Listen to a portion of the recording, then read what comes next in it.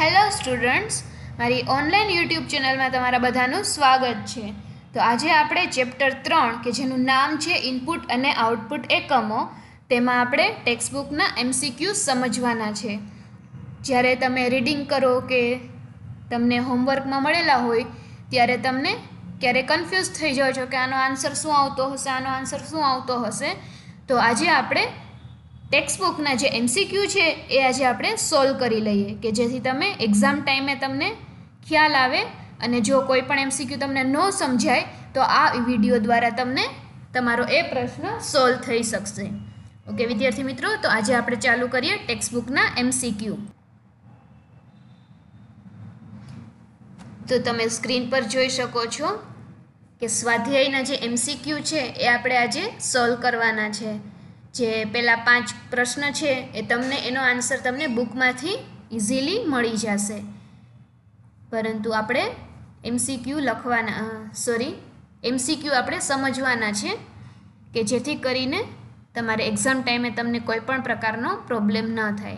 તો પહેલો એમસીક્યુ છે કમ્પ્યુટરને આપવામાં આવતી ડેટા અને સૂચનાઓ નીચેનામાંથી શેનો નિર્દેશ કરે છે? હવે ત્રીજા ચેપ્ટરમાં આપણે અભ્યાસ કરી લીધો. કે કમ્પ્યુટરને આપણે કાંઈ પણ ડેટા આપીએ, માઉસ દ્વારા, કીબોર્ડ દ્વારા કે કંઈ પણ સૂચના આપીએ, કે પ્રિન્ટનો કમાન્ડ આપી છે, તો આપણે એને સૂચના આપી કહેવાય. ત્યારબાદ તમે માઉસથી કાંઈ પણ ક્લિક કરો છો, તો એને આપણે શું કહી શકીએ? તો એનો આન્સર આવે છે એ ઇનપુટ. કે તમે કમ્પ્યુટરમાં કાંઈ પણ ડેટા કે સૂચનાઓ આપો છો, તો એને આપણે કમ્પ્યુટરની ભાષામાં ઇનપુટ આપેલું કહેવાય કે તમે કાંઈ પણ પ્રક્રિયા તમારે કરવી હોય તો તમે ઇનપુટ દ્વારા કરી શકો છો. કે જેથી તમને ખ્યાલ આવે કે તમે ઇનપુટમાં શું આપો છો, કંઈ પણ માઉસનું ક્લિક આપો છો, કે કીબોર્ડ દ્વારા કંઈ પણ ટાઈપ કરો છો, અથવા તો જોયસ્ટિક દ્વારા તમે કંઈ પણ ઓપરેશન કરો છો પરફોર્મ કરો છો, તો આ બધું તમે ઇનપુટ દ્વારા કરી શકો છો. તો વિદ્યાર્થી મિત્રો પહેલો એમસીક્યુ ઇઝી છે. કે જેના દ્વારા તમને ખ્યાલ આવી જશે.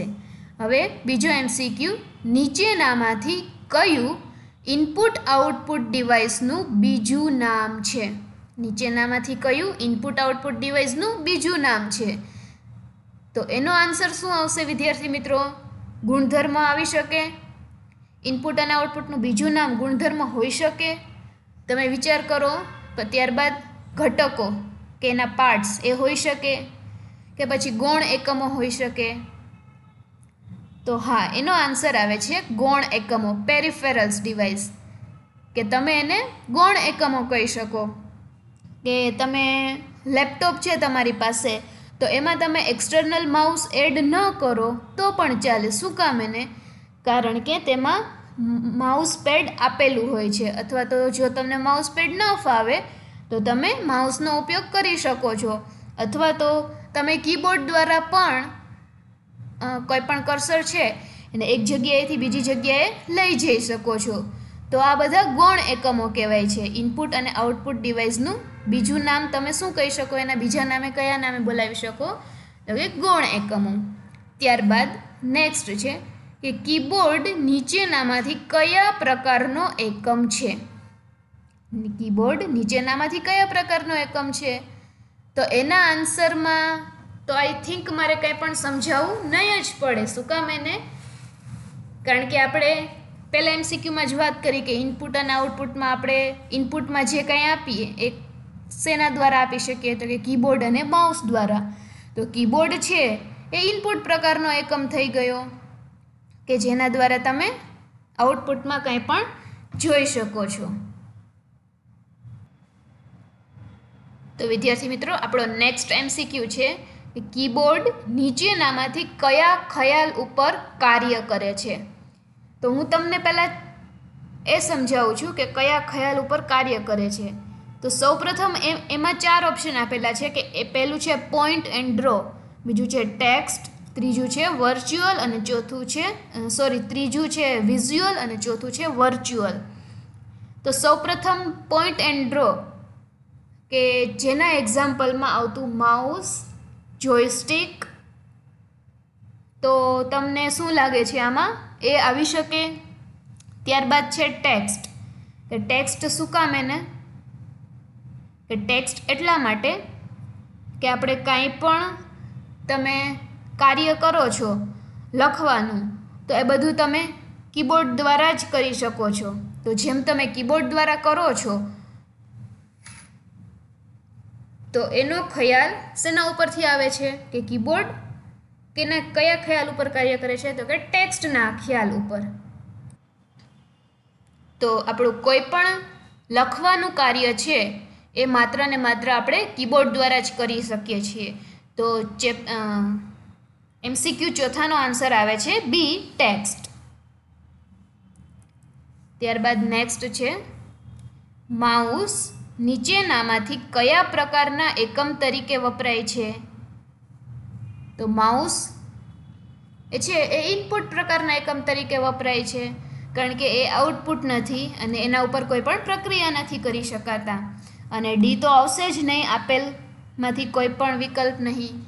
કારણ કે માઉસ છે, એ ઇનપુટનો એક ઇનપુટ પ્રકારનો એકમ છે કે તમે ક્લિક કરો છો રાઈટ ક્લિક કરો છો સ્ક્રોલ કરો છો, તે બધું તમે માઉસ દ્વારા કરી શકો છો.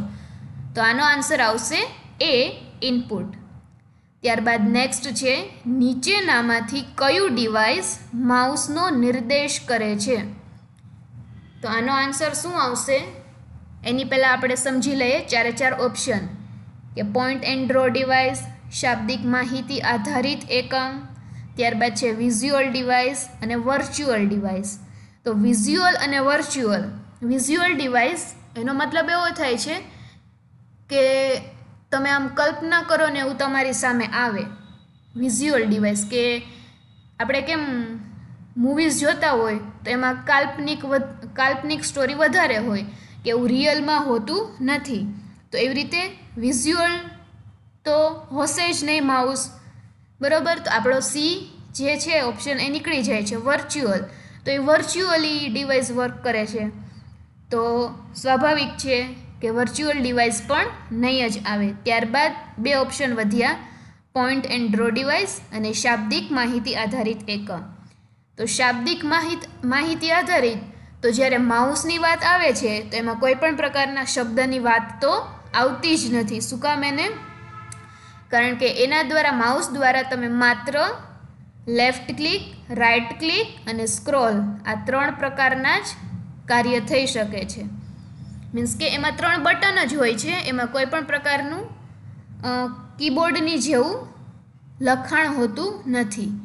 તો હવે વધ્યું એ કે પોઈન્ટ એન્ડ ડ્રો ડિવાઇસ તો ઓબ્વિયસલી છે, એનો આન્સર આવશે A point and draw device okay વિદ્યાર્થી મિત્રો, તો ત્યારબાદ નેક્સ્ટ એમસીક્યુ છે. વસ્તુ સાથે સંકળાયેલ તેની કિંમત અને અન્ય માહિતી માટે પ્રમાણિક, પ્રમાણિત સંકેતીકરણ પદ્ધતિ નીચેનામાંથી કઈ છે? તો આના માટે આપણે લેક્ચરમાં ભણ્યા ત્યારે મેં તમને ડીમાર્ટનું એક્ઝામ એક્ઝામ્પલ આપેલું હતું. કે કોઈ પણ વસ્તુ હોય તો એની પાછળ એનો એક કોડ હોય.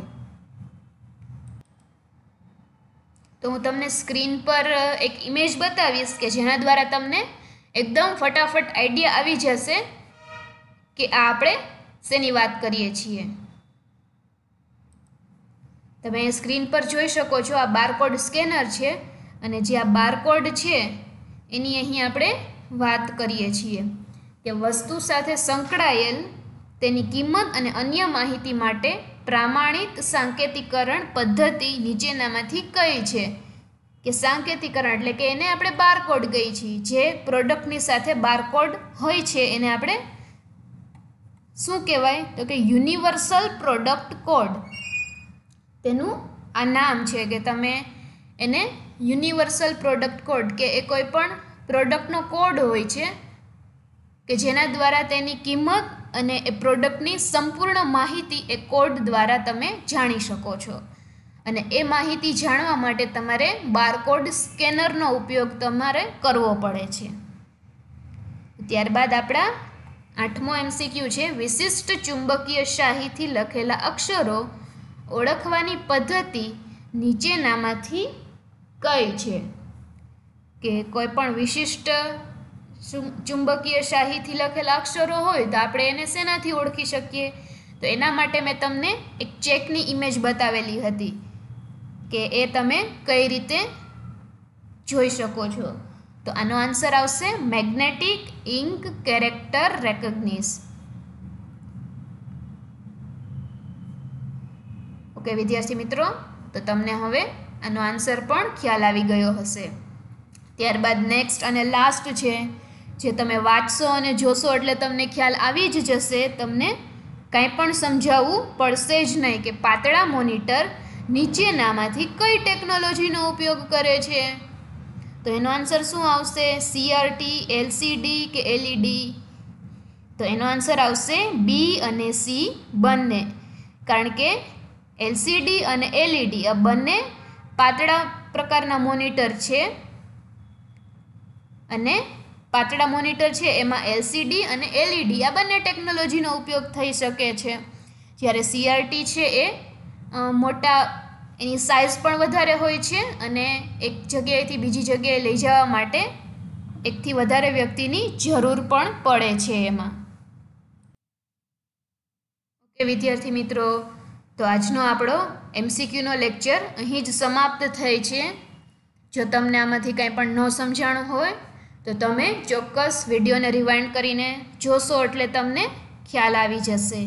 ઓકે વિદ્યાર્થી મિત્રો, મારી ચેનલને સબસ્ક્રાઈબ કરવાનું ભૂલતા નહીં અને વિડીયોને લાઈક જરૂરથી કરી નાખજો. Thank you